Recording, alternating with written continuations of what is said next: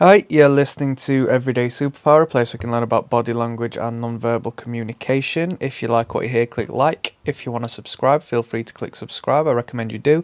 And if anything comes to mind, feel free to click. uh, Well, feel free to leave a comment, basically. So, uh, without further ado, let's get on to it. Today, we're going to be talking about the chewing of the lips, rubbing of the lips, plucking of the lips, general self touching of the lips. All right. In particular, I think we're going to talk about the chewing. So it might be uh, a chewing of the lips somewhat uh, indirectly and, um, you know, sort of out of the way, or it might be really bold as to where you literally question what you're doing. It can also link with the inside of the cheek, so the individual might be chewing on the inside of the cheek. And really, what it comes down to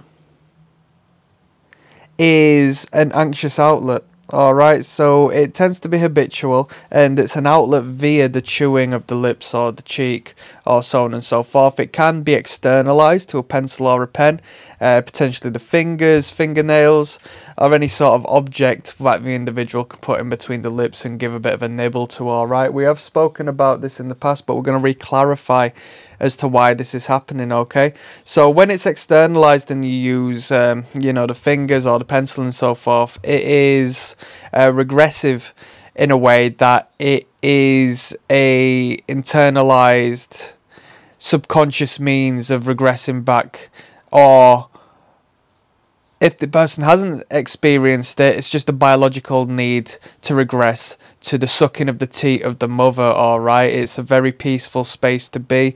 It takes you back into a space where you were looked after and somebody else was there to look after you, alright? So you'll see these behaviours come out uh, in response to anxiety and insecurity and so on and so forth.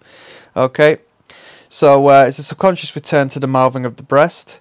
Uh, in regards to not having a particular item and just chewing on the lips and so forth, it still is a means of self-soothing purely as the lips are covered in nerve endings and um, you know the stimulation provokes a surge of positive feel good uh, hormones to the brain in regards to fighting off that stress. Okay, so it's a defense mechanism.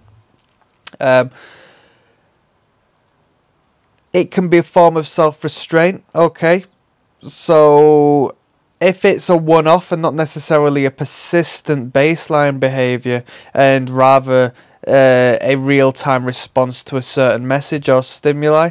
It can be a means of blocking the mouth. So, we've spoken mouth blocking behaviors and how an individual will find the means to conceal the mouth and the lips to ensure that they are not, you know, it's, it's sort of like a physiological response to the mental message of don't speak, don't speak too much, hold yourself back, alright? So, that's a possibility, okay? Although there's more um, efficient and bolder means of blocking the mouth. So for the most part, I think it's more of a uh, pacifying behavior, or at least that's what you'll see in the real world. All right.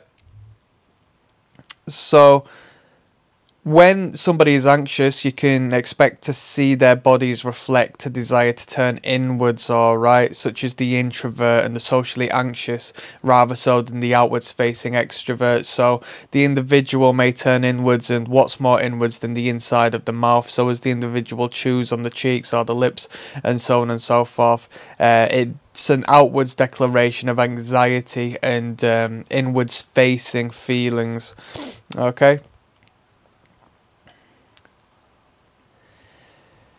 Initially, we spoke of the externals, so let's have a quick brief look over that. So, if we're speaking of um, the biting of the lips, uh, engaging these feel good hormones and sending these nerve endings into fire, which creates this positive feeling, you can touch the lips with the fingers for the same effect and so on and so forth. You know, whether it be a pen and so on and so forth. And you'll see this in regards to a uh, insecurity. Now, it might not necessarily be a conscious insecurity. Uh, some people might just get on a train of thought and just start doing it without even being consciously aware.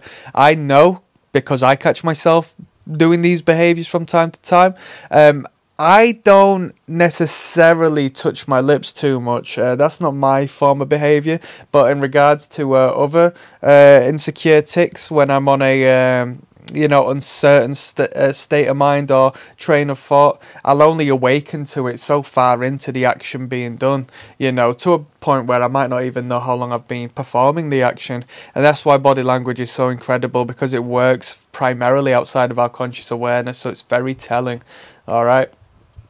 So that's just a little talk. I understand it might have been a little bit vague, a little bit all over the place uh, today, but we've just had a general overview on lip behaviors and uh, behaviors of the mouth and where it could go from, where, whether it be. Uh, you know, a momentary restraint, a mouth blocking behavior, or a general baseline behavior as to that's how a person reacts in the face of insecurity and anxious situations.